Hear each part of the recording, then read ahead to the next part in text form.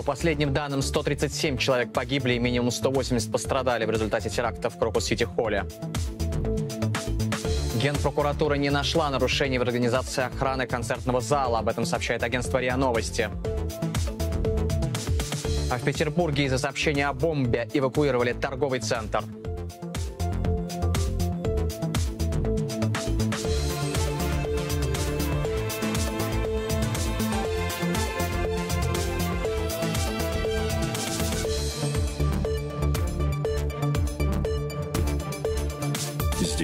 Сейчас.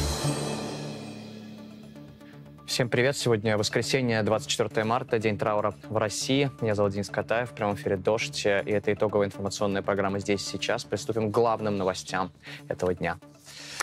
Итак, число погибших в результате теракта в подмосковном Крокус-Сити-Холле возросло до 137 человек. Об этом сегодня днем сообщил Следственный комитет. Пока опознаны 62 тела. Для этого медики проводят генетические экспертизы. Еще как минимум 180 человек считаются пострадавшими в результате стрельбы и пожара в концертном зале. Генпрокуратура не нашла нарушений в организации охраны Крокуса. Якобы необходимости в вооруженной охране не было. Об этом сообщает агентство РИА Новости со ссылкой на свой источник. Кроме того, Следственный комитет России опубликовал кадры доставки подозреваемых в теракте на допрос. На видео э, нескольких из них завозят э, в здание с завязанными глазами, как мы видим, и ведомство будет ходатайствовать о заключении четырех подозреваемых под стражу. Предположительно, заседание пройдет в Басманном суде Москвы. В здании еще утром усилили меры безопасности, выставили заграждения, они же остаются до сих пор там. И вот в России сегодня объявлен траур. С самого утра люди приходят возложить цветы на место трагедии Крокус Сити Холлу. Подробности о последних новостях после теракта в материале Валерии Кирсановой.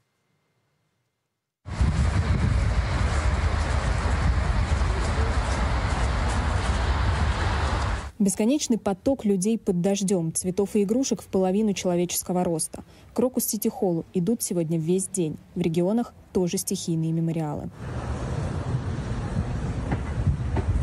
Но вместе с тем сгоняли людей на специально организованные акции. В Казани принесли окопные свечи. В Тамбове прийти и возложить цветы обязали бюджетников. В Ростове призывали через родительские чаты. А это Омск. И сегодня мы а, национально-культурным сообществом хотим показать все нелюди, которых наняли, которых, с которым заплатили, которые псевдомусульмане, они наняты только для того, чтобы, чтобы вбить в сердца и в умы россиян рознь на национальной почве. Мы устоим, нас нельзя разъединить, мы большая многонациональная. Подтверждение того, что страну не разъединить, в регионы спустили акцию, которую назвали «Мы вместе». Вслед их методических рекомендациях массовые мероприятия по всей стране. Свечи памяти, письма поддержки родственникам, уроки разговоры о важном. В рамках формата необходимо рассказать учащимся образовательных учреждений о подвиге героев, которые спасали жизни во время и после теракта в Крокус-Сити-Холле, о медиках, о сотрудниках МЧС, о героических поступках посетителей и сотрудников Крокуса. Одному из героев, 15-летнему гардеробщику Исламу Халилову, он вывел людей из горящего здания. Рэпер Моргенштерн перевел сегодня миллион рублей и пообещал помогать семьям жертв. Не стесняйтесь обращаться к нам за помощью. Если что, мы готовы делать все анонимно. Если вы переживаете, что я иноагент, и там какие-то иноагентские счета, карты, все будет анонимно, если вы захотите, я вам обещаю. Еще один ребенок, который спасал посетителей, Артем Донсков. А, Когда все прибежали в сторону к служебному помещению, там еще и рядом туалет, э, все оказались в тупике. Мы с ребятами это увидели и решили все взять свои руки, развернули их и повели в нужную сторону. Фотографии тех, кто выйти не смог, распространяют сегодня в телеграм-каналах по спискам опознанных. осуществляем э, работу с родственниками э, погибших, пострадавших э, граждан. Процедура опознания э, сложная. Э, в, в отдельных случаях потребуется проведение молекулярной генетической экспертизы, э, результаты которой э, будут готовы не ранее, чем через две недели. На обломках Крокуса продолжают работать кинологи и спасатели. Из-под завалов извлекают тела и фрагменты. Пострадавшим и погибшим от теракта собирают пожертвования силами людей, сообщил сегодня губернатор Подмосковья. Крупные банки и страховые компании уже объявили о собственных мерах, в том числе о списании кредитов жертв. Владимир Путин на место трагедии не приехал. Вместо этого он ставит свечку в собственной резиденции, в одиночестве и тишине.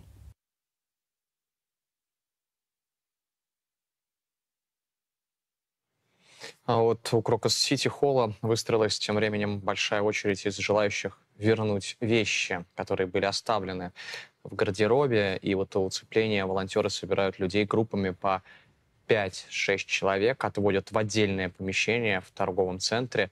Об этом пишет телеграм-канал «Осторожно, новости». Вот эта очередь также при выдаче вещей людей на месте опрашивают сотрудники Следственного комитета. Но в Петербурге сегодня эвакуировали торговый центр из-за сообщения о заложенной бомбе. По данным издания Фонтанка, в здании центра Лондон Молл заметили подозрительного мужчину, который заявил полицейским, что заложил там взрывчатку массой в 10 килограммов. Зачем э, изначально, а затем вот ему, к нему изначально подошли полицейские, и, почему это произошло, непонятно. Вообще под, подробности этого странного происшествия, в них, видимо, еще надо разобраться. На место приехала полиция, Росгвардия, МЧС, скорая помощь и реанимация. По предварительной информации, задержанный не является при этом гражданином России. В экстренных службах уточняют, что сообщение о бомбе оказалось ложным. Здесь и сейчас. На федеральном телевидении и в Z-каналах активно начали обсуждать версии теракта. Ответственными за трагедию уже называют даже уехавших россиян. А пропагандистка Маргарита Симонян изучает э, пояса шахидов, а точнее их отсутствие. Подробнее о реакции государственных каналов в материале Александра Шведченко. Обратите внимание на изменения в программе Первого канала. Сегодня в нашем эфире информационный канал. Такое решение руководством Первого канала было принято лишь в субботу, на следующий день после трагедии в Крокус-Сити-Холле. В пятницу же были только запланированные выпуски новостей с короткими информационными сводками о теракте. В перерывах между развлекательными программами, вроде шоу «Голос», возмущались даже пропагандисты. Коллеги, ну остановите развлекаловку. Ну как так? Впрочем, в субботу федеральным телеканалам удалось перестроиться. Вот программа «Вести» с Татьяной Ремезовой на канале «Россия-1». Моновыпуск, полностью посвященный теракту. Все четверо непосредственных исполнителей теракта в Крокус-Сити-Холле найдены и задержаны. И каждый, кто готовил этот удар по России, будет установлен и понесет неизбежное наказание. Тем временем в авторских программах и телеграм-каналах пропагандистов оценок и аналитики было много. Версию о причастности к теракту ИГИЛ, которое само взяло за него ответственность, все как один отметают. Они что-то вдруг стали пугаться и стали говорить, что это якобы теракт совершил ИГИЛ. Ну, это, конечно, абсолютная глупость. Но какой ИГИЛ, когда четверо граждан не России, Средней Азии, которых взяли, обдолбанные, обычные кричалки не кричали. Умирать никто из них не собирался, никто из них не был религиозным фанатиком. ИГИЛ там и рядом не проходила. Это братья были не братья. Это называется легендирование, операция прикрытия. Я тебя слепила из того, что было. Радикальные исламисты, особенно после разгрома ИГИЛ, отличный материал прикрытия. Это скорее почерк европейского нацизма, старой европейской инквизиции. Гендиректор телеканала ТНТ Тина Канделаки тоже намекает на связь заказчиков теракта с коллективным Западом.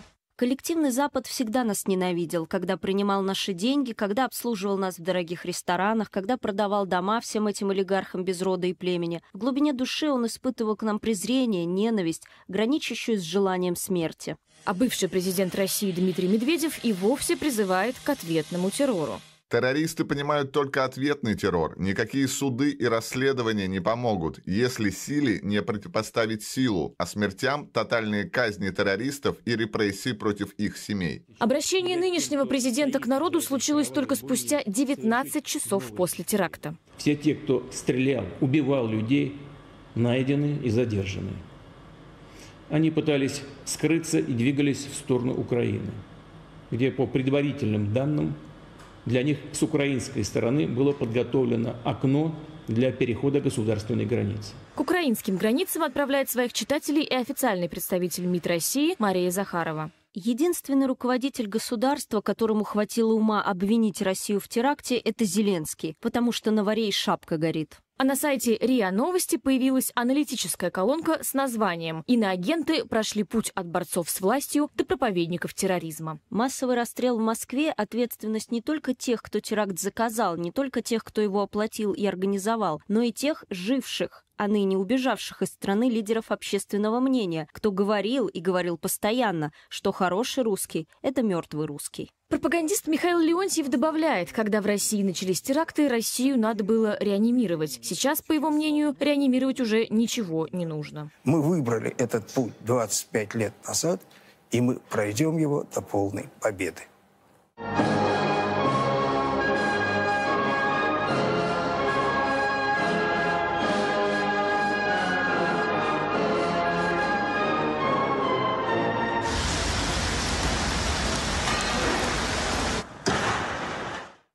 Ну и сегодня в России, напомню, день траура, и у Крокус Сити Холла весь день приходят люди к Крокус Сити Холлу, а, приносят цветы, свечи. И вот сейчас прямо там проходит акция памяти, а, которая организована волонтерским движением «Мы вместе», в частности.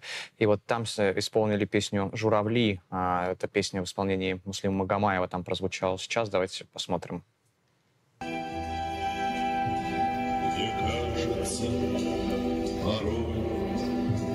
Солдаты с кровавых не пришедшие Да, эта акция памяти проходит сейчас а, у Крокус Сити Холла в Москве.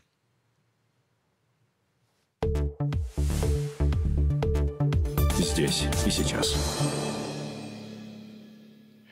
Ресурсы, связанные с ИГИЛ, сегодня опубликовали видео, которое было снято самими террористами во время стрельбы в Крокусе. По этическим причинам мы не показываем эти кадры полностью. На них э, несколько боевиков расстреливают людей в упор. Одному из посетителей концерта перерезают горло ножом. Напомню, что ответственность за теракт в Крокусе взяла на себя ячейка ИГИЛ Валаят Харасан. Террористы утверждают, что 22 марта ее боевики, цитата, предприняли скоординированную атаку на а, большую толпу христиан. Так они а, выразились. Тем временем российская пропаганда, как мы увидели, не спешит распространять версию причастности именно ИГИЛ. Их больше занимает поиск украинского следа. Владимир Путин лично заявил, что боевики уехали в сторону Украины, где для них якобы был организован проход через государственную границу. Но это никак не доказывает факт причастности Украины, считает специалист по российским правоохранительным органам Кирилл Титаев. В комментарии изданию «Понятно медиа» он объяснил свою версию о причастности именно ИГИЛ. Организации, в том числе террористические, не часто берут на себя ответственность за э, действия, совершенные другими организациями есть все основания полагать, что это действительно ответственность э, некоторой, э, одной из ячеек ИГИЛ. То предположение, что боевики пытались скрыться на территории Украины, э, в общем, никак не отменяет первого. То есть то, что э, они собирались покидать Россию, довольно очевиден э, и весьма вероятен. То, что они собирались это сделать через территорию Украины, вполне возможен. На следующий день после теракта ФСБ отчиталась о задержании участников нападения на Крокус, и в телеграм-каналах даже распространились видео допроса задержанных. Предотвратить теракт было бы очень сложно, объясняет Кирилл Титаев, потому что вычислить все детали на этапе планирования подобных нападений практически невозможно. Теракты такого типа практически невозможно предотвратить. Потому что при организации таких террористических актов информация, как правило, оказывается очень распределенной внутри организации. То есть один э, участник террористической организации знает, что ему нужно отвести людей из пункта А в пункт Б, другой знает, что ему нужно подготовить какое-то количество взрывчатого или зажигательного вещества, третий знает, что ему нужно поставить оружие. То есть, если у вас нет агента, который э, напрямую участвует в организации самого верхнего уровня, становясь при этом соучастником, будем честны, э, то у вас есть несколько клочков разрозненной информации, и вероятность того, что вы одновременно знаете характер теракта, время, место и планируемое к использованию оружия, ну, близка к нулю. В МВД сегодня заявили, что полиция прибыла к Кроку Сити-Холлу через пять минут после вызова. Накануне государственные СМИ писали, что первые сообщения о теракте поступили на телефоны экстренных служб в 20 часов 01 минуту по московскому времени, а уехали террористы из концертного зала в 20 часов 13 минут. Их заявление, из заявления МВД непонятно, что делали полицейские в концертном зале 7 минут, пока там еще были террористы. Тем временем Украина уже несколько раз э, опровергла свою причастность к теракту в Крокус-Сити-Холле. Сначала об этом заявил помощник главы офиса президента Михаил Подоляк. Чуть позже в украинском МИДе заявили, что считают обвинения спланированной провокацией Кремля. А накануне вечером уже сам Владимир Зеленский выступил с обращением по этому поводу и заявил, что российская власть сутки думала, как привязать э, Украину к массовому расстрелу в концертном зале. Те, що сталося вчора в Москві, очевидно, і Путін і інші покидьки просто намагаються звалити все це на когось іншого. У них завжди однакові методи. Це вже було, і підірвані будинки були, і розстріли, і вибухи. І завжди вони звинувачують інших. Вони прийшли в Україну, спалюють наші міста, і Україну ж намагаються звинуватити. Вони катують, гвалтують наших людей і їх же звинувачують. Вони сюди на українську землю нагнали сотні тисяч терористів своїх, воюють проти нас, і їм все одно, що відбувається всередині їхньої ж країни.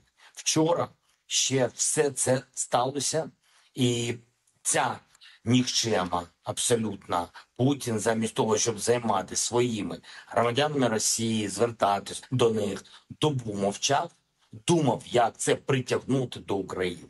Все абсолютно передбачено. Напомню, что в пятницу, в день теракта, российские власти в лице некоторых депутатов, сенаторов и бывшего президента Медведева начали обвинять Киев, не дождавшись даже хоть какой-то первой информации, например, от ФСБ. Давайте обсудим реакцию Украины на эти вот обвинения э, с Юрием Камельчуком, народным депутатом Украины. Он с нами на связи. Юрий, здравствуйте. Добрый, но не совсем, конечно же, вечер да. и для вас, и для нас. Спасибо, что присоединились. Да, расскажите, пожалуйста, ну вот мы слушали реакцию президента Зеленского, ну и вообще сами эти обвинения, они просто по методичке повторяют одно э, другое, но нет никаких доказательств. Даже Путин в своем обращении мог, смог сказать только о каком-то якобы окне выдуманном, куда стремились террористы. То есть нету никаких доказательств, но эта тема отыгрывается по полной программе. Как, как, вы думаете, э, с чем это связано? Да, действительно, какова реакция Киева? Будет ли еще какие-то, не знаю, там, доказательства или уже достаточно того, что сказал президент? Да перестаньте. Обычно все патологические вруны, они, они по Фрейду как-то mm-hmm. оговариваются. Вот если он сказал про окно, это окно как раз было сделано спецслужбами и ФСБ, которые допустили то, что произошло, а может быть даже организовали то, что произошло в России. Это же понятно. Они организовывали взрыв э, жилых домов в 99-м, они организовывали Беслан, э, Нордост, потом, если вспомнить, сбитие самолета MH17, ну и так далее. То есть список очень, на самом деле, большой. Они все время врут про то, что сначала говорили, их нет на Донбассе, потом говорили, что все переговоры ведутся с какими-то ополченцами, на самом деле это было под четким руководством России. Потом они говорили, нападать на Украину никто не собирается, и сделали это в 2022 году. А потом они врали о том, что они защищают э, города в Донецкой области, в Луганской области, практически уничтожили половину Мариуполя, похоронили там десятки тысяч людей. Они стреляют просто по надписям там же, где есть дети. Ну, о чем здесь говорить? То есть, э, на самом деле, больной абсолютно человек, который пытается сейчас э, установить еще сильнее свою власть и, возможно, готовиться к каким-то следующим шагам. А, Путин — это обычный, сейчас уже мы, мы же понимаем, что выборы, которые так называемые происходили, они не могут считаться легитимными. А, никто в мире их не признал. Не знаю, может быть, там сосед э, белорусский признал выборы Путина, но для нас э, теперь это даже, даже не президент. Поэтому верить его словам однозначно никаким образом нельзя. Во-первых, действительно, никаких э, нету доказательств о том, что каким-то образом даже люди, которые симпатизируют Украине, к этому причастны. Во-вторых, мы слышали заявления, которые связаны с ДИЛ. В-третьих, э, ну, смешно на самом деле говорить о том, что очень сильная спецслужба в России, и она ехала, если я не ошибаюсь, больше часа э, в Крокус Сити Холл. Ну, это все выглядит как э, очень дикая постановка. Я, я помню, не помню сейчас точно в каком году был Нордост, 2002. но все ну, очень да. похоже, и это было очень печально. Мы тогда, конечно, соболезновали, я думаю, кажется, всем миром России в связи с этим, но мы не все наверняка понимали, что это была жесткая манипуляция для установления полностью тоталитарного режима. А вот как вы считаете, вот сегодня тоже он, э, многие говорят о том, что теракт э, произошел, и он будет использован как раз-таки, и уже используется в качестве риторической, но, возможно, дальше как-то будет использоваться уже с точки зрения и ведения войны. Вот вы ожидаете каких-нибудь, может быть, э, серьезных действий, серьезной эскалации со стороны России, которая будет сейчас использовать этот теракт как повод для еще более какого-то масштабного наступления или применения какого-то страшного оружия? Мы не то что ожидаем, мы постоянно ощущаем. Вот э, последних три дня жесткие обстрелы большим количеством ракет – которая по всей территории Украины прилетает. Большую часть, конечно же, наши силы противовоздушной обороны сбивает. А ракета даже пролетала сейчас а, над э, тем городом, а, который далеко на Западной Украине, где живут мои родители. Она залетала на территорию Польши, потом через Львов, чуть-чуть дальше. К сожалению, подбила объект критической инфраструктуры. Э, люди, к счастью, там не пострадали, но в других местах у нас, к сожалению, каждый день от отстрелов э, гибнут э, люди, дети, не военные вообще. То есть я не говорю о том, какие у нас есть э, потери на фронте или что происходит именно там. Это отдельная история.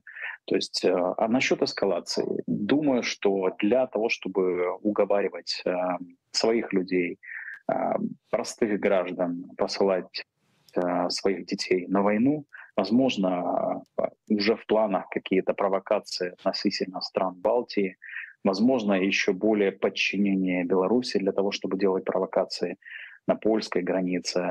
Ну, конечно же, за этим всем не просто следим, мы к этому готовимся. К этому готовится Европа, к этому готовится НАТО. Не зря, мне кажется, французский президент говорил о том, что готова и Франция, в принципе, посылать даже своих военных. Возможно, чисто конкретного решения сейчас практически чисто стороне э, площади нет, но а, я думаю, что это в преддверии того, что надо быть готовым ко всему. ко всему. Что... Ничего не исключено, как сказал, собственно, Макрон. И скажите, вот да. я хотел как раз про это вас спросить дополнение, про реакцию Европы и НАТО. Вот мы видели по поводу реакции ракеты даже, да, которая залетела на территории Польши, была там 39 секунд. Сразу же были подняты войска НАТО, воздух тоже, чтобы, ну, как в виде предупреждения. И как вы считаете, вот на возможную эскалацию. Вот сейчас то, что ту, ту риторику, которую использует Москва и Кремль. Какой, будет ли большая сплоченность? Ожидает ли Украина большей сплоченности э, вокруг Украины? То есть сейчас вот мы видим эти призывы Макрона. Все равно есть какие-то разногласия. Вот как вы думаете, будет ли общий ответ европейский на эту угрозу?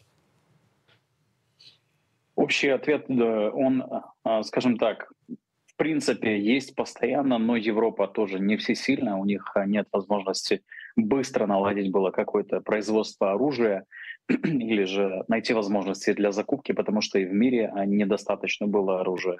Но мы видим, как а, активировалась за последнее время Германия, мы видим а, большую финансовую помощь от Норвегии, которая заходила в течение последнего года. Мы видим, как сейчас дополнительные возможности нашла Чехия, Дания, дополнительные боеприпасы и так далее. То, что ракета залетала на территорию Евросоюза, она шла географически по траектории, если так посмотреть просто на то место, где, где она именно летела, она летела с э, территории Волынской области во Львовскую, и там есть как раз, как, как раз такой изгиб на карте.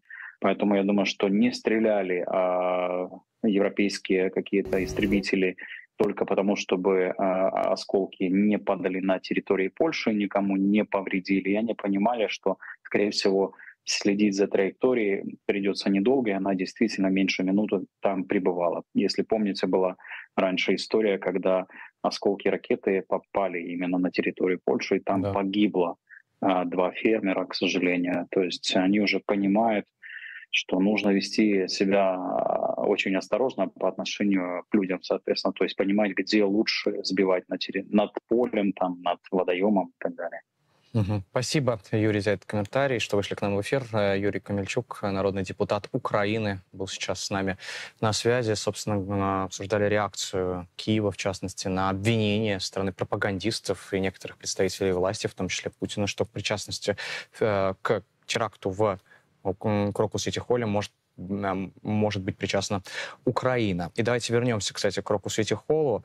А, музыканты группы «Пикник», собственно говоря, чей концерт должен был пройти в пятницу, пришли возложить цветы в память о погибших.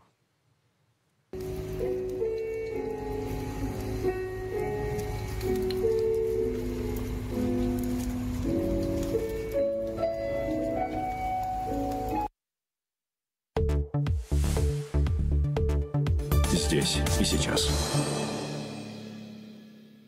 Российские политики и чиновники снова заговорили о возвращении смертной казни э, после теракта в Крокусе. Как всегда, впереди всех с такими радикальными заявлениями зампред Совбеза Дмитрий Медведев. Процитирую, террористы понимают только ответный террор, никакие суды, расследования не помогут, если силе не, противопо не противопоставить силу, а смертям тотальные казни террористов и репрессии против их семей, мировой опыт. Конец цитаты. С аналогичным предложением также выступили, э, вот, например, экс-кандидат в президенты и глава ЛДПР Леонид Слуцкий Террористам только смертная казнь. Говорил и повторяю снова, но их спонсоры и инструкторы, которые могут быть как в Киеве, так и гораздо западнее, не должны уйти от ответственности. На войне, как на войне, нас не запугать. Не забудем и не простим никому, кто бы ни стоял за этими ублюдками. Э, его поддержали Слуцкого и другие депутаты Госдумы, в том числе лидер партии «Справедливая Россия», патриоты за правду Сергей Миронов. Вот такой комментарий он дал в эфире канала «Россия-24». И здесь я не могу не сказать, что обязательно для террористов нужно возвращать смертную казнь. Этим нелюдям нельзя жить на нашей планете. А руководитель фракции «Единая Россия» в Думе Владимир Васильев скоро э, объявил о том, что скоро будет принято решение о смертной казни, и оно будет отвечать ожиданиям общества. Сейчас много задают вопрос о смертной казни. Эта тема, безусловно, будет глубоко, профессионально, содержательно, проработана, и будет принято решение, которое будет отвечать настроениям и ожиданиям нашего общества. Ну, кстати, стоит отметить, что господин Васильев, э, в то время, кстати, статс-секретарь заместителя министра внутренних дел России, являлся замом руководителя штаба по освобождению заложников из театрального центра на Дубровке в 2002 году. А семь лет назад, в очередную годовщину Нордоста, он дал интервью газете «Комсомольская правда», вот оно, в котором сказал следующее. «Я сейчас как раз занимаюсь тем, чтобы Нордост никогда больше не повторился.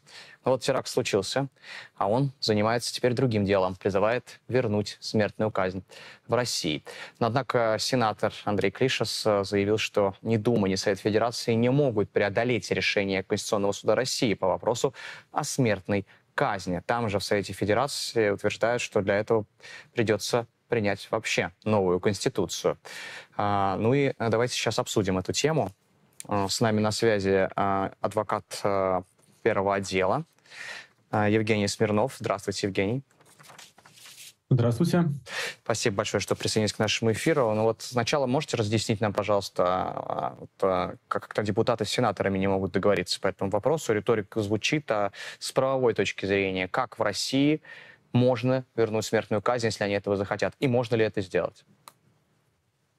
Ну, такая риторика звучит на самом деле не первый год. На протяжении последних 25 э, лет после каждого теракта мы слышим заявления политиков, заявления общественных деятелей о том, что необходимо вернуть смертную казнь. Но, к счастью, а, пока дальше этих разговоров э, действия никогда дальше не, заход... дальше не заходили. А если э, обратиться к, к праву, то, в принципе, сейчас юридически вернуть смертную казнь очень сложно. Однако мы уже неоднократно видели, как тот же Конституционный суд, э, решение которого сейчас запрещает применять смертную казнь, э, легко изменял принятые ранее им решения. Они могут придумать какую-то новую конструкцию, как это было с возможностью Путину избираться на новые и новые сроки подряд. Ну, например, можно пофантазировать, что изменения в Конституцию, которые были приняты несколько лет назад, а, могут послужить поводом для пересмотра ранее принятого решения а, Конституционного суда о запрете применения смертной казни. Они могут придумать и какую-то другую новую правовую норму, но посмотрим, как это будет развиваться. Я очень надеюсь, что все-таки смертная казнь в России не будет восстановлена.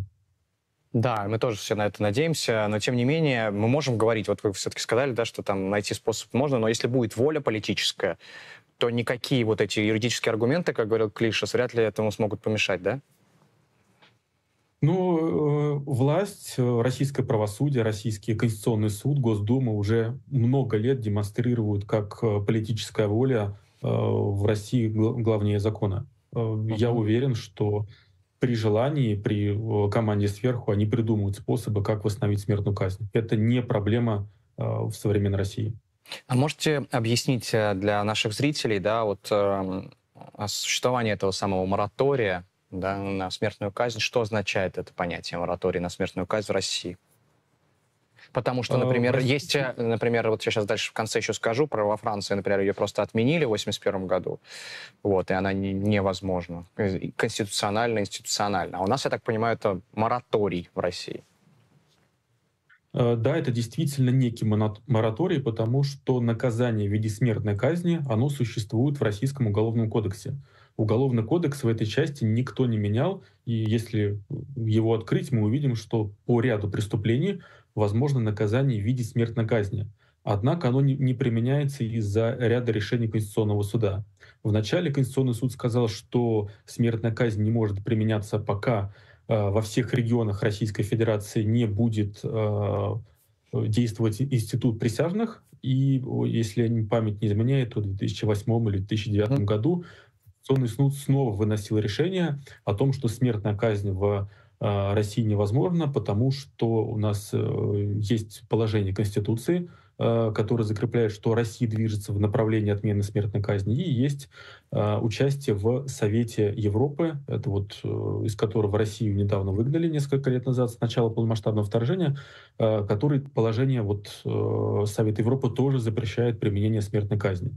И вот с тех времен действует это решение Конституционного суда, которое на протяжении последних 15 лет запрещает применять по новым основаниям смертную казнь. Вот если говорить про юридические институты, которые сейчас есть в России, но само наказание, повторюсь, э, смертная казнь, оно существует в Уголовном кодексе.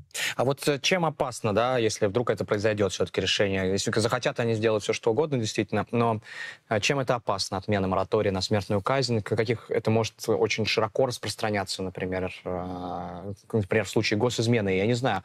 Просто вот как вы считаете, чем это опасно? Чем это, что это может вызвать? А, знаете, достаточно открыть э, список Росфинмониторинга, список экстремистов, террористов и посмотреть, какие люди туда входят. И вот чисто формально к, ко многим из этих людей э, может применяться наказание в виде смертной казни. Мы видим, что за экстремизм у нас сажают э, свидетели Иеговы, которые вообще выступают э, против участия в военных действиях, против любого насилия. Террористами у нас становятся критики российского государства, либо э, дети, которые играют в компьютерные, в компьютерные игры. И вот э, мы видим, какие потенциальные жертвы э, смертной казни есть в Российской Федерации. Это дети, которые куда-то что-то не туда написали. Это люди, которые исповедуют религию э, чуждую вот, руководству Российской Федерации. Все это потенциальные жертвы э, смертной казни в России. И э, понимаете, смертная казнь, она не способна остановить никаких преступников. Ну, неужели смертная казнь была бы способна остановить э, тех, кто совершил террористический акт в, в, в Крокус-Холле? Конечно же нет, потому что эти люди которые совершают э, террористический акт, они, в принципе, готовы к тому, чтобы встретить смерть. Они зачастую идут как смертники на совершение этих преступлений, и уж точно смертной казни они, они не боятся. Смертную казнь, она не способна ничего изменить в нашем обществе, она не способна предотвратить совершение новых преступлений. Даже если мы послушаем депутатов, которые сейчас заявляют о необходимости возвращения смертной казни, то мы услышим, что это по сути не то, это не, они говорят не о наказании с точки зрения права, они говорят о неком таком психологическом возмездии, то есть вот отомстить э, тем людям, кто совершил преступление. Вот, ну, Но это не предотвратить следующее преступление, действительно, это в этом-то и суть. Да, спасибо вам большое, Евгений. Евгений Смирнов, адвокат первого отдела, был сейчас с нами на связи. Я как раз вот э, в заключение этого разговора хотел подтвердить слова, которые сказал уже Евгений. Действительно, смертная казнь не э, приводит к предотвращению следующих подобных преступлений. Вот недавно я говорил уже в эфире о смерти известного французского политического деятеля Робера Бадентера, будучи министром, э, будучи министром юстиции в 1981 году в правительстве Митерана, он как раз раз был и выступал за отмену смертной казни и отменил ее в итоге. Это было революционное событие. И вот несколько цитат. Он тоже говорил о том, что статистически, он вел, кстати, до этого был адвокатом по многим делам смертников, он говорил, что статистически доказал, что а, вот эта вот опасность смерти не останавливает преступников. И вот некоторые цитаты. Сказал Робер Бадентер по поводу смертной казни. В действительности, при трезвом анализе проблемы смертной казни все просто. Это не практика устрашения или репрессий. Вопрос ставится иначе. Это проблема политического и морального выбора. Далее, еще одна цитата. Применение смертной казни противоречит принципам уважения прав человека. Речь идет о базовом нарушении прав человеческой личности, лишении ее права на жизнь. И вообще он говорил, что э, если уж быть совсем гуманистами и милосердными, то, как повторяя фразу Виктора Гюго, он говорил, что любому человеку, даже самому, совершившему самое ужасное преступление, нужно давать право на исправление. И, конечно же, еще раз повторюсь, это не приводит, как говорил Бадентер, к э, предотвращению следующих крупных трагедий, преступлений и терактов. Здесь и сейчас. Белгород снова под обстрелом в 17.50 по местному времени в областном центре, а также еще в Белгородском районе объявили ракетную опасность. Сработала сирена воздушной тревоги, а губернатор Гладков попросил людей не выходить на улицу и не подходить к окнам. По предварительным данным, ПВО сбило все запущенные по Белгороду ракеты, однако все же есть значительные повреждения. В частности, вот пострадал многоэтажный жилой дом на проспекте Славы в центре города. Обломки также повредили рядом стоящие машины машины. Улица перекрыта. А кроме этого, под удар попало здание общежития Белгородского государственного технологического университета. От сегодняшней атаки пострадали как минимум четыре человека. Об этом сообщает, опять же, губернатор Гладков. И вот согласно заявлению Минобороны России, над Белгородской областью уничтожены 22 реактивных снаряда систем «Вампир». Здесь и сейчас. Спасатели шестой день ведут работу на шахте рудника «Пионер» в Амурской области, где под завалами до сих пор остаются 13 горняков. А, напомню, обрушение породы произошло 18 марта еще. И вот с тех пор никакой связи с шахтерами нет. Все четыре буровые установки работают с максимальной скоростью. Об этом говорят, по крайней мере, в пресс-службе регионального правительства. Первая разведывательная скважина была пробурена на 223 метра из необходимых 260. А, и вот власти Амурской области ввели региональный режим чрезвычайной ситуации. Губернатор Василий Орлов ранее сообщал, что для разбора завалов в шахте мобилизованы все силы и средства региона. Здесь и сейчас прямом эфире «Дождь». Информационная программа «Здесь сейчас». Приветствую всех наших зрителей. Пожалуйста, поддержите «Дождь». Поставьте лайк нашей трансляции, но если вы находитесь не в России, то вы можете а, поддержать нас финансово. Вот а, по ссылке в описании tvn.tv slash donate э, QR-код в вашем распоряжении. Спасибо всем, кто поддерживает дождь. Для нас это важно. Но мы продолжаем. Накануне стало известно, что Путин помиловал двух членов а, банды Цапков, осужденных на 20 лет за жестокое убийство в станице Кущевской, которое тогда всех потрясло, а это теперь вот эта станица на слуху. Это освобождение они получили в обмен на участие в войне в Украине. Они уже, кстати, вышли из колонии по помилованию за участие в войне и находятся на свободе. Например, Вячеслав Рябцев женился и живет в Краснодарском крае.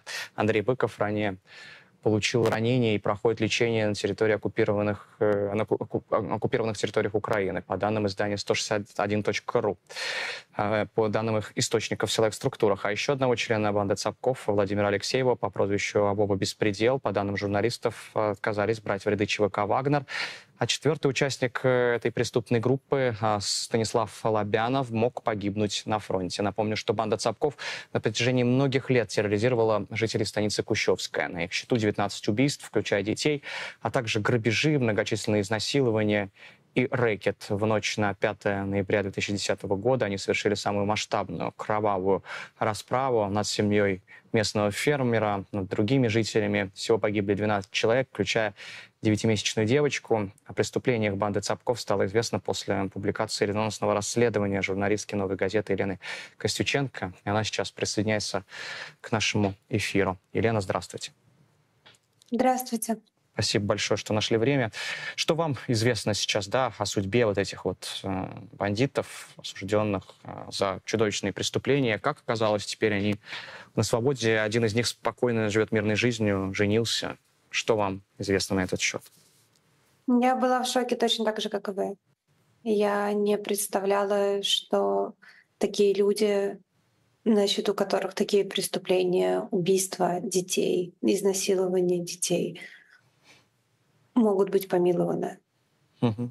И, ну, я очень опасаюсь за жизни э, свидетелей по делу Кущевской. Я очень опасаюсь за жизни родственников жертв, э, которые свидетельствовали на процессе против банды. Потому что, конечно, слухи о том, что цапки будут мстить, они как бы все эти годы в станицах шли. И теперь, когда они на свободе, у них есть такая возможность. Да, то есть, получается, вот эти вот люди, которые участвовали в процессе, да, наверняка с которыми и вы общались, э, они сейчас мог, должны опасаться за свою жизнь.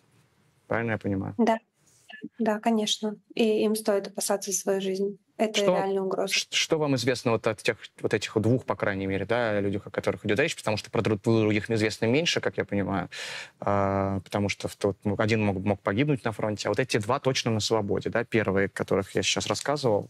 Можете рассказать, вот они, что они себя представляют, ну, так, из этой банде, какие они роли выполняли? Кто это, что это за люди?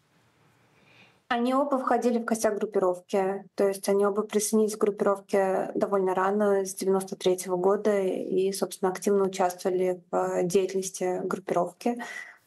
Они участвовали и в избиениях, и в убийствах, угу. и в изнасилованиях. А, это все происходило как бы довольно долго.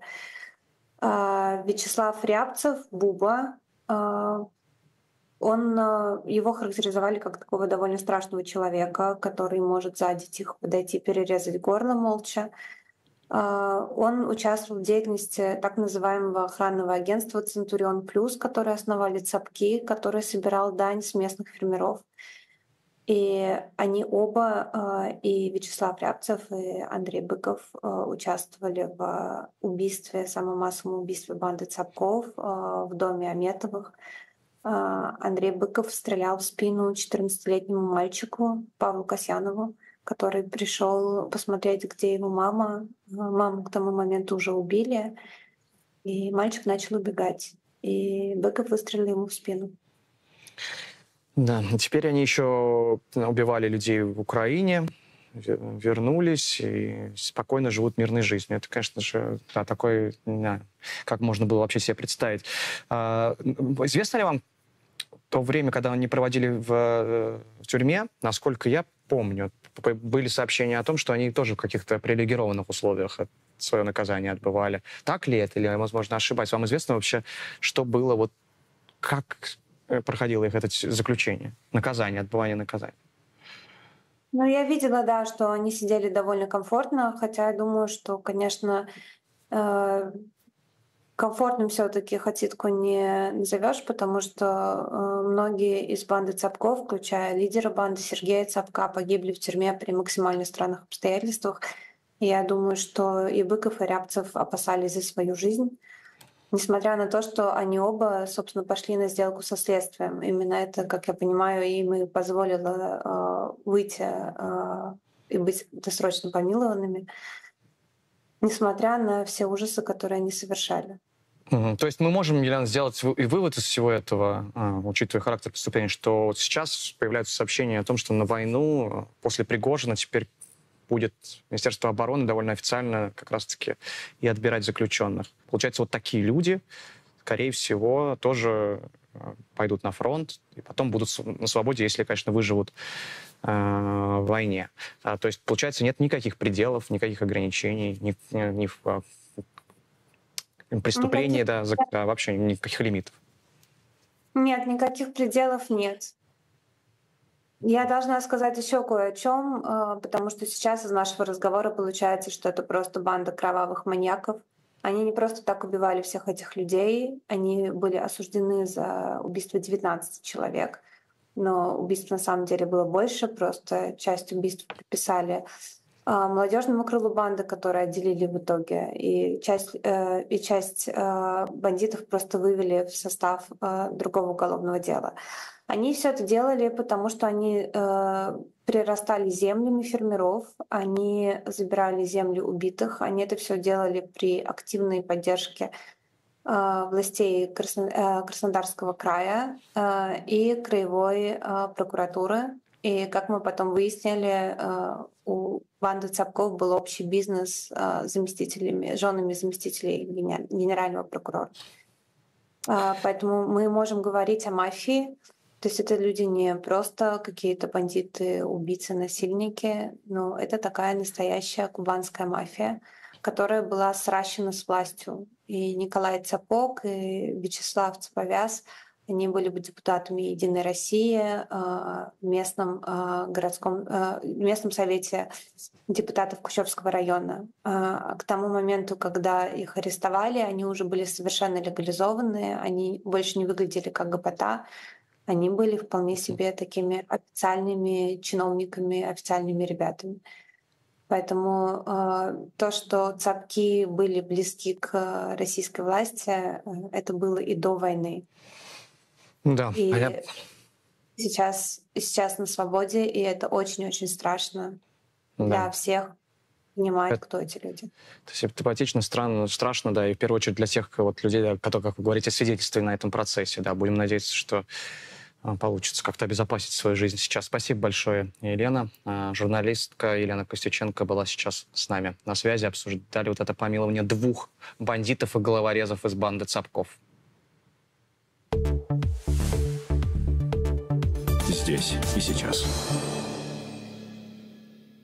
Ну а в секторе Газа снова идут ожесточенные бои. В частности, в печально известном госпитале Аль-Шифа. По данным Цахал, это операция по зачистке террористов, которая проводится уже несколько дней. Также действия по ликвидации боевиков израильская армия проводит в других больницах. Амаль и э, Насер э, сообщают о передвижениях тяжелой техники и перестрелках. При этом ведется точечная зачистка на прилегающей территории без вреда пациентам, врачам и больничной инфраструктуре. Правда, палестинские источники при этом сообщают, что в ходе боев были убиты по меньшей мере пять пациентов. Цахал предупреждает, что в этом а, районе госпиталя Аль-Шифа уже уничтожили по меньшей мере 170 террористов но операция все-таки продолжается и не закончится, и закончится, цитата, только тогда, когда последний из них окажется в наших руках живым или мертвым. Конец цитаты. И вот по данным израильского девятого канала, в центральной части сектора бойцы э, за, минувшие сутки ликвидировали около 15 террористов, уничтожены несколько отрядов. Одна ячейка запарикадировалась в здании. Для ее ликвидации задействовали снайперов, боевые вертолеты, ракетное вооружение наземного базирования. Тем временем в Израиле продолжаются многочисленные антиправительственные митинги. Один из самых крупных э, за последнее время прошел в Тель-Авиве.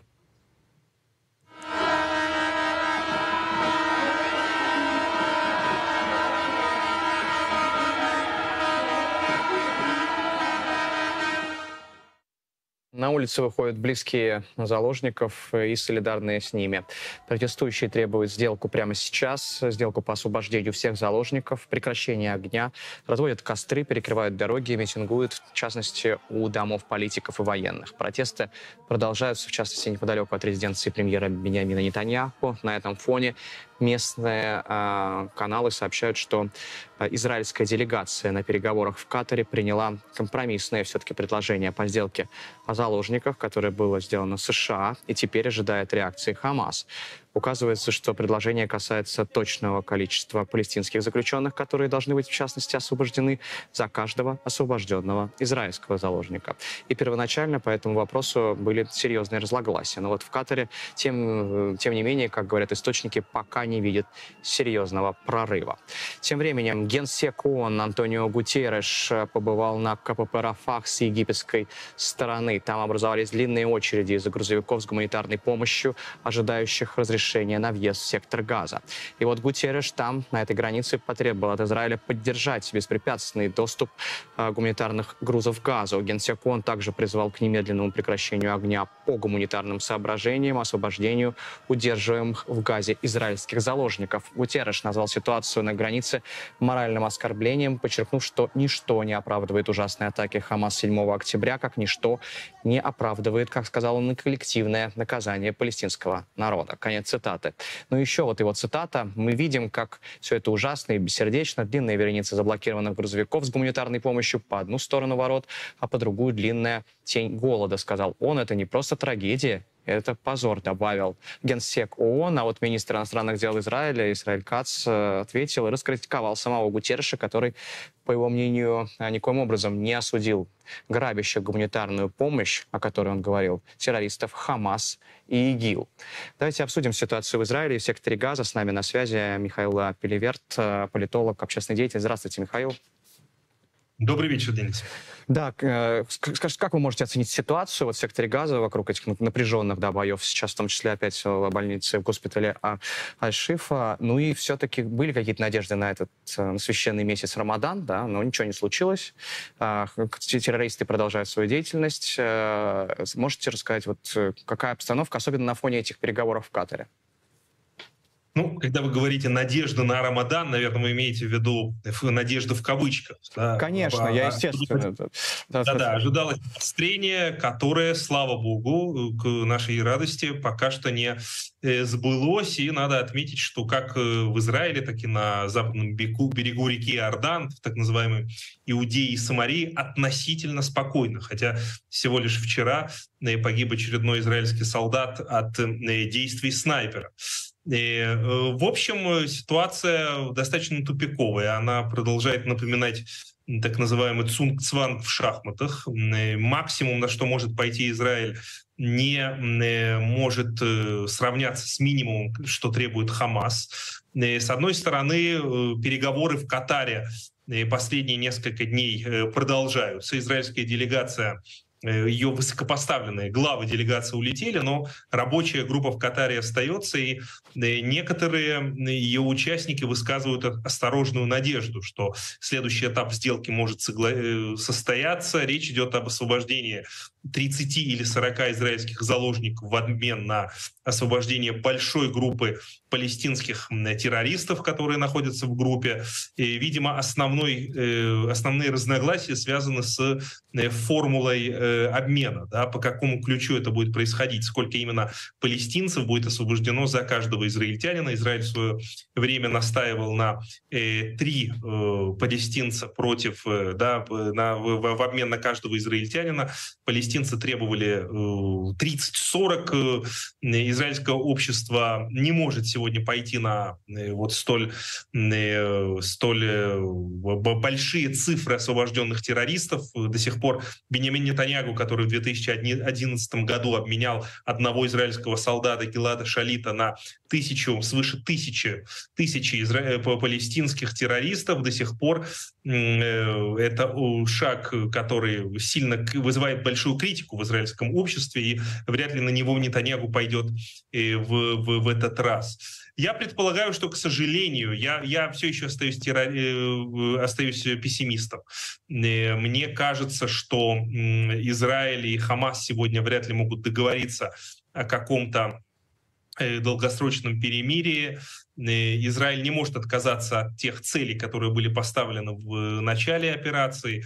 а с другой стороны Хамас не будет готов, мне кажется, отпустить израильских заложников, понимая, что это единственный козырь в их руках. Это наши дети, жены, старики, женщины, которых они э, удерживают в подземельях глубоко под, э, глубоко под землей, понимая, что это, видимо, последний их шанс э, выторговать что-либо.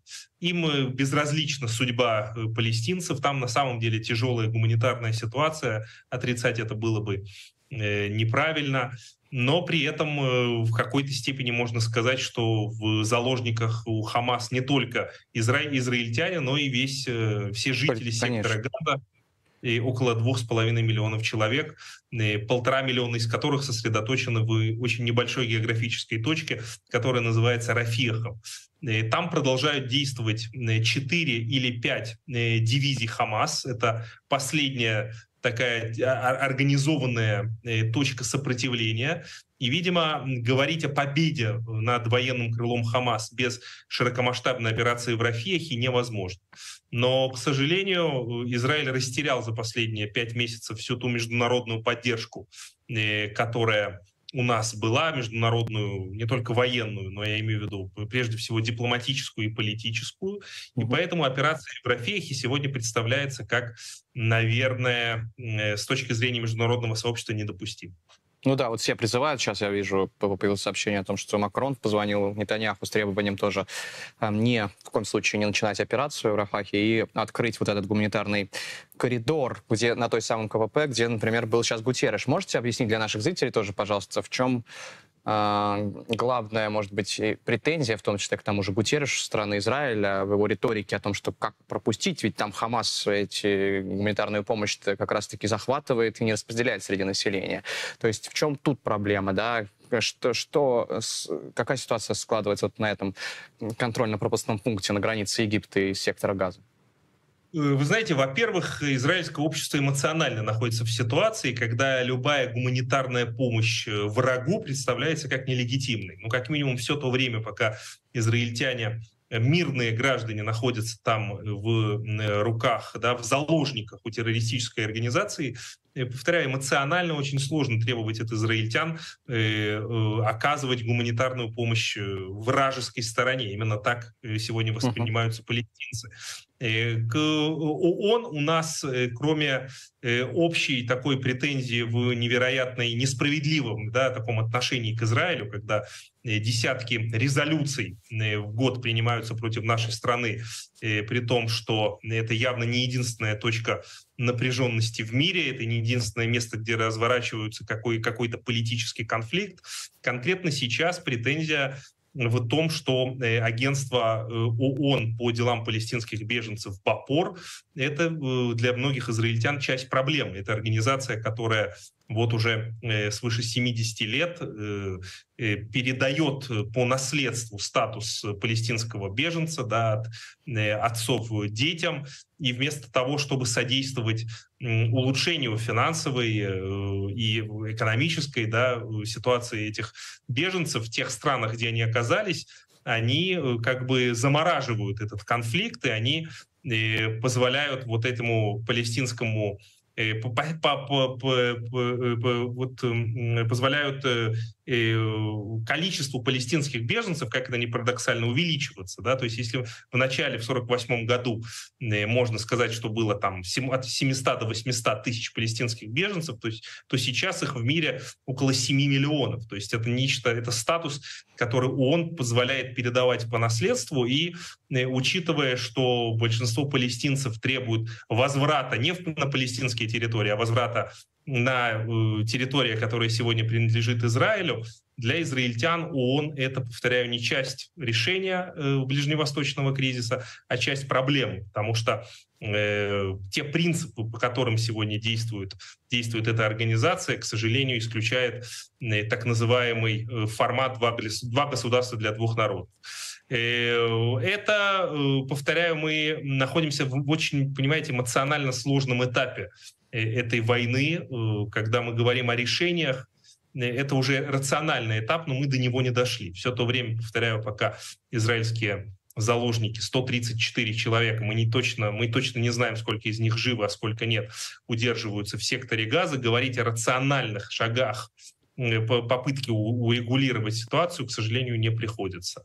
Ну, э, при этом, конечно же, объективно говоря, сегодня в Израиле у власти находится достаточно правая консервативная коалиция, которая э, тоже не, это не лучший вариант для какого-то мирного решения израило-палестинской проблемы.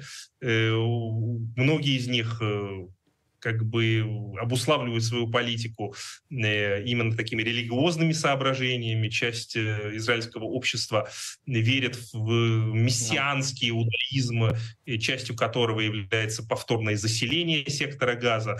Мы находимся в очень сложной ситуации, и поэтому я, к сожалению, на ближайшие, ближайшие несколько месяцев э, не испытываю оптимизма, и мне кажется, дна мы еще не достигли. Оно, видимо, двойное. Будем следить за развитием ситуации. Спасибо большое, Михаил. А, Михаил а, Переверт, политолог, общественный деятель из Израиля, был сейчас с нами на связи. И вернемся сейчас э, в Москву. Там приходят цифры, в частности, о пострадавших, раненых во время э, теракта в Крокус-Сити. И получается, что последняя из цифр — это 182 человека пострадали э, в результате теракта. Об этом сообщают в здравия Подмосковья. Напомню, что на данный момент общее количество погибших 137 человек. Э, и в, вот мы сейчас видим, как весь день сегодня, да, люди несли цветы э, к Крокус-Сити-Холлу, цветы, свечи. И там сейчас продолжается еще акция памяти. И давайте сейчас переместимся в Басманный суд. В Басманном суде Москвы вот с минуты на минуту ожидается избрание меры пресечения четырем подозреваемым в нападении на Крокус. Об этом передает корреспондент РИА Новостей. Вот мы сейчас видим э, кадры прямо из здания Басманного суда, куда уже, как я понимаю, э, то ли завели, то ли еще не завели вот этих самых э, подозреваемых, но пока решение суда на данную секунду нет. Будем следить. Ну что ж, э, вот такие э, новости к этому часу. Уже завтра вернемся в эфир, э, поэтому оставайтесь на дожде. Сегодня в России день траура. Всем пока. thank you